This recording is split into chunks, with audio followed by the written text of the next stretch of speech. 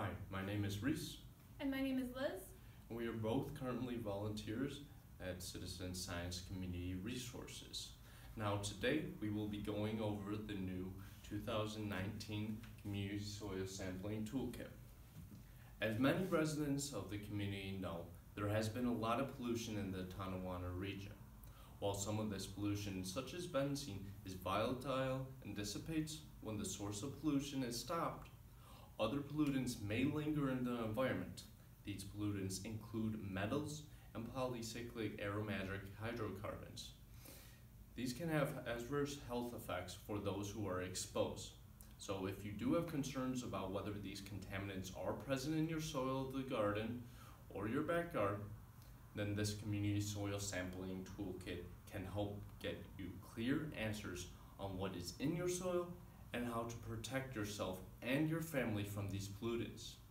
The Community Soil Sampling Toolkit then provides you with the tools and information so you can sample your own property for environmental toxins using established procedures and protocols.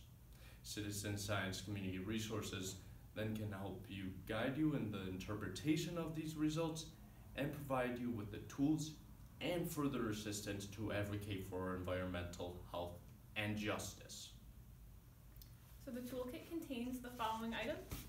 First, you want to check the binder in the toolkit.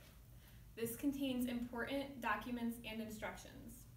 The chain of custody and the site forms will be in the binder, and both of these forms must be completed for the sample to be processed. Pens, Sharpies, and a clipboard are also included to help fill out these forms. The toolkit will contain gloves. Before you begin the soil sampling, it's very important to put on gloves.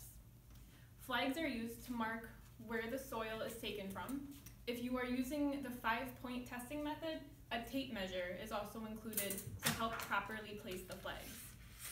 A stainless steel trowel is included, and this is used to take the soil sample.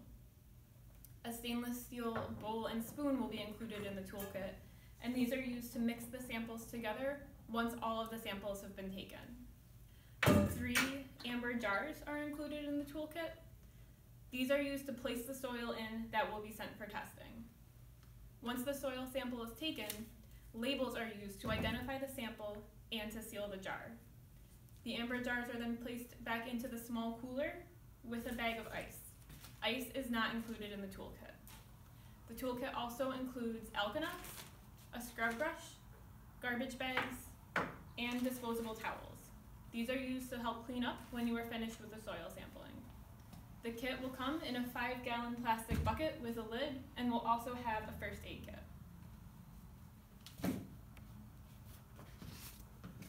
Now, if you are interested in using this toolkit, we will be lending it out in the Western New York area in the upcoming months. Or if you would like to purchase a toolkit of your very own, you can visit our website at csresources.org. Now, we have partnered with Test America to provide you with affordable soil testing and analysis. All this information, including a price list, is actually included in our manual or by contacting us. Now, to learn more, to purchase a toolkit, or to sign up for the lending library, please visit our website at csresources.org. Thank you.